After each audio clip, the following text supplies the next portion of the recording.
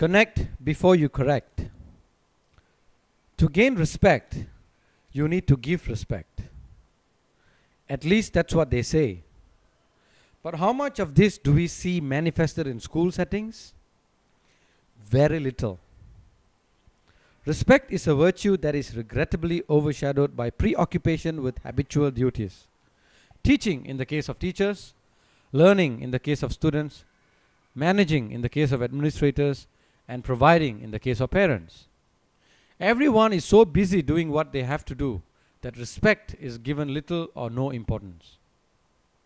A friend is a regional director of education in South Africa. He travels extensively throughout the country. He only goes home once in a while, but he maximizes whatever time he gets with his family. I visited him last December, where I learned a significant lesson. As he is hardly there with his two children, he chooses not to boss them around when he gets home.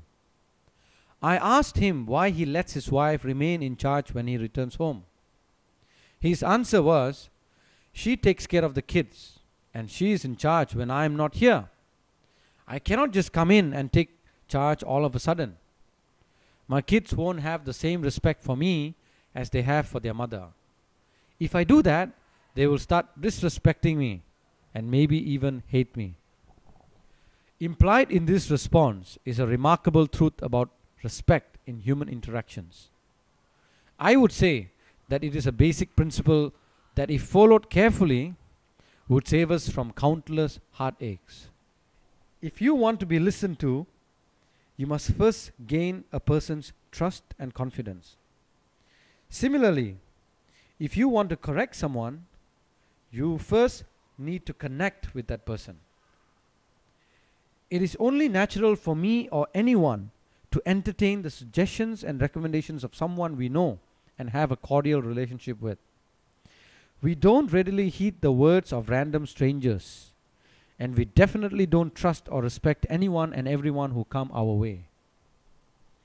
As sensible as this sounds, it is often not applied in school settings. A new principal could be appointed today, and she would have the authority to reprimand students, teachers, and staff right away. She can do so by virtue of the authority vested in her by her superiors. While it is a principal's duty to ensure discipline and order, it is equally important that she does it the proper and sensible way. But what commonly happens is the point that has been narrated earlier. It is easier for people in authority to expect others to respect them because of their positions and not because of what they have done to first gain respect. It is almost taken for granted that people in authority are respected by default. They are not expected to give respect in order to gain respect. This is hypocrisy. And when students sense this, they lose whatever little respect they have for the school and the adults who run it. A friend of mine once complained about a secondary school student who was extremely rude toward a primary school teacher. The teacher had commented on the student's failure to speak English while on the school's premises. When he was confronted by the teacher, the student reacted with all the foul words he knew. The teacher disliked his response. She felt sad, disoriented, and was shocked by his attitude. I thought about the situation for a moment and told my friend, What other response do you expect from the teenager when he was confronted by someone he doesn't have any connection with? Do note that the teacher was in the primary section and the student was in high school. Their paths never crossed except for that once. The same student would have responded differently to his own class teacher or a teacher he connected well with. Just because we are teachers, we cannot always expect our students to fall on their knees and obey us. Respect is something that we earn, and we can only earn respect by first giving it. As a teacher, administrator, or other person in authority, it is easier to go around giving commands, passing orders, setting procedures, and demanding obedience. But the most effective way to correct anyone is by connecting with that person first. Utilizing the authority that is vested in someone is called exercising coercive power, while utilizing the power that comes through connection is called exercising people power. The former separates people, while the latter unites them.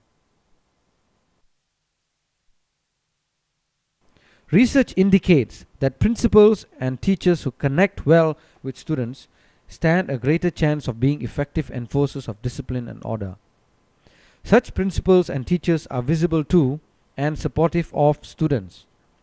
They take a personal interest in the well being of children and mingle with them by talking informally, expressing interest in their activities, and encouraging them to do well in their studies. Those who fail to do so create unhappy children, which also means an unhappy school environment. Dr. William Glasser, the father of choice theory and a proponent of positive approaches to discipline, says that no number of behavior management strategies, however good they are, could ever substitute for a teacher's respect toward his students. So the next time you want to scold someone, ask yourself Am I connected to this person? If you're not, then you might as well keep quiet and go about your business. You would at least still have an opportunity to forge a relationship with that person and address the problem in the future. If you pursue with your plan and correct before you connect, the person may dislike and possibly disrespect you from the first encounter. If that happens, you will have squandered an opportunity to touch someone's life in a positive way.